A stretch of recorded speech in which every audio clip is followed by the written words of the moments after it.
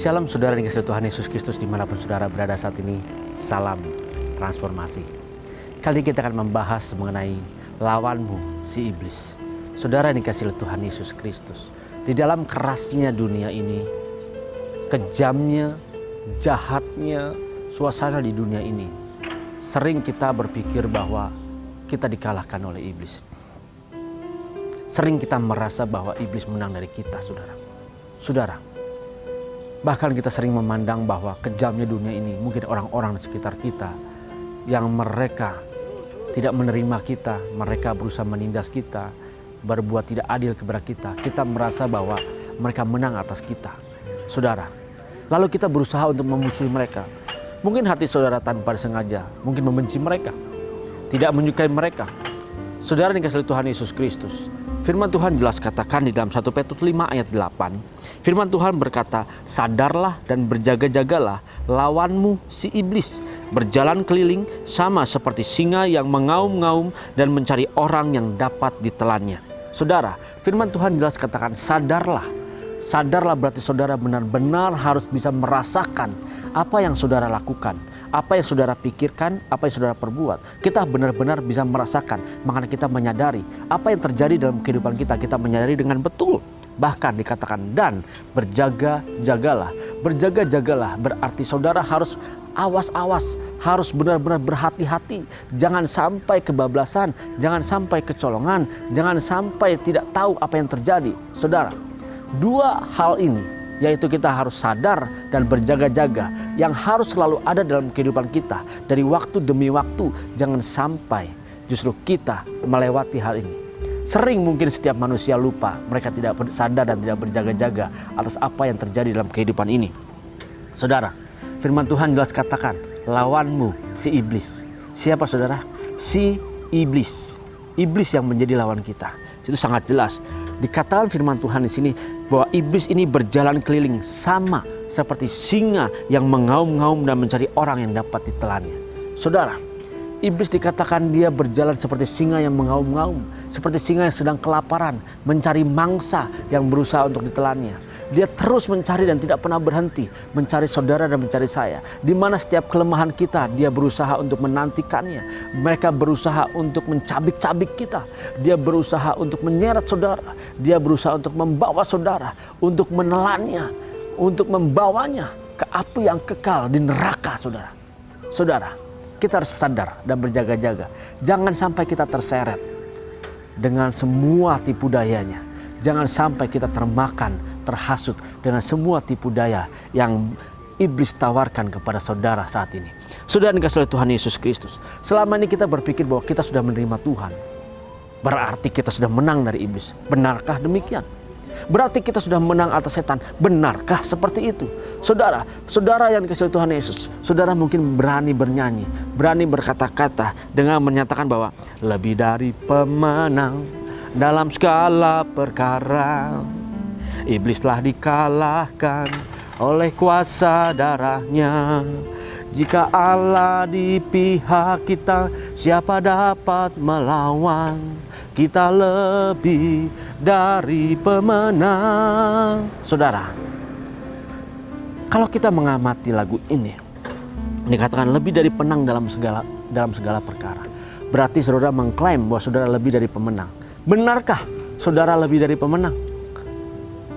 Benarkah apa yang sudah perjuangkan saat ini sudah lebih dari pemenang? Di dalam benak kita dikatakan lebih dari pemenang. Kita merasa bahwa karena kita tidak berjuang, kita tidak berusaha.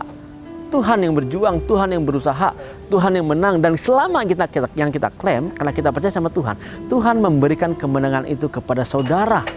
Makanya kita berani mengklaim kita lebih dari pemenang. Tapi apakah yang itu yang Tuhan yang inginkan? Saudara dikasih Tuhan Yesus Kristus dikatakan lebih dari pemenang. Berarti saudara tetap harus berjuang. Saudara tetap menghadapi setiap permasalahan dalam kehidupan ini. Saudara juga harus bisa menghadapi iblis yang ada. Saudara harus sadar. Saudara, saudara juga harus bisa menang atas pikiran kita, mata kita, dan mulut kita. Dan semua kelakuan kita. Saudara, kita harus terus berjaga-jaga. Kalau kita berani mengklaim bernyanyi tadi lebih dari pemenang dalam segala perkara, betulkah saudara sudah berperang menghadapi setiap perkara yang ada dalam kehidupan ini? Mari saudara cross check. Kita periksa hidup kita. Benarkah kita sudah berperang? Dalam setiap segala perkara berarti tidak ada satupun yang terlewat, terlewati. Dalam segala perkara berarti apa yang tidak terlihat pun pikiran kita, perasaan kita, mata kita, mulut kita yang kita perkatakan, sikap hidup kita. Semua harus kita perkarakan di hadapan Tuhan. Dan kita harus menang atas itu semua dan dikatakan lebih dari pemenang bukan berarti seperti yang kita terima selama ini kita tidak bertarung, kita tidak berjuang, kita tidak berusaha, kita tidak melawan lalu kita hanya diserahkan oleh Tuhan kemenangan itu. Bukan saudara, itu konsep yang salah. Saudara, dikatakan lebih dari pemenang, saudara pun harus bertarung untuk menghadapi setiap perkara dalam pikiran saudara, menghadapi setiap perkara di dalam mata saudara, di dalam mulut saudara dan sikap karakter hidup saudara dikatakan lebih dari pemenang karena saudara sudah berjuang mengatasi semua itu. Saudara menang atas itu. Saudara bisa dikatakan lebih dari pemenang. Harus saudara ingat. Karena saudara dan saya, kita adalah ahli waris kerajaan surga. Kita bisa menang mengatasi setiap perkara dalam kehidupan kita. Ketika kita melewati itu semua, kita tampil sebagai pemenang. Kita punya nilai plus karena kita sebagai ahli waris. Sebagai seorang ahli waris, dia jelas harus bisa hidup mengikuti gaya hidup dan contoh yang diinginkan, yang menyukakan dan menyenangkan, yang mewarisi kekayaan tersebut kepada kita. Saudara, kalau saudara menjadi seorang ahli waris, berarti saudara harus menang di semua perkara. Yang jelas, karakter hidup saudara harus sama seperti Tuhan Yesus Kristus. Saudara dikasih oleh Tuhan Yesus Kristus, kita berani mengklaim dengan nyanyian, iblis telah dikalahkan oleh kuasa darahnya. Betul, dengan kuasa darah Tuhan Yesus Kristus, iblis sudah dikalahkan. Tapi betulkah saudara sudah mengalahkan iblis dalam diri saudara? Di dalam pikiran, mata, perkataan kita. Benarkah kita sudah mengalahkannya? Saudara dikasih Tuhan Yesus Kristus. Bahkan lagu berikutnya, jika Allah ada di pihak kita, siapa dapat melawan? Keren kan saudara? Jika Allah di pihak kita, siapa dapat melawan? Ini adalah sebuah pernyataan, sebuah klaim jika Allah ada di pihak kita. Berarti saudara mengklaim Allah ada di pihak kita. Pertanyaan saya sekarang sama saudara, benarkah saudara ada di pihak Allah? Kalau tadi kita mengklaim jika Allah ada di pihak kita, Berarti kita mengklaim Allah yang ada di pihak kita. Sekarang saya perbalik dan kita tanya balik. Benarkah saudara ada di pihak Allah? Kalau saudara ada di pihak Allah, berarti apa yang saudara pikirkan, perbuat, dan lihat, perkatakan, yang dilakukan semua karakter hidup ini, sikap hidup ini, semua harus sesuai, menyukakan dan menyenangkan Allah sendiri. Karena kita ada di pihak Allah. Kalau kita melihat bagaimana dinamika pemilihan pil pilkada yang ada di negara kita, dari kubu A dan kubu B, mereka yang ada di pihak A dan ada di pihak B, semua yang berpihak kepada pihak A, dia berusaha, berjuang, berpikir, melakukan untuk menyukakan dan menyenangkan pihak A. Berjuang supaya dia bisa memenangkan pihak A. Begitu pula dengan kubu sebaliknya.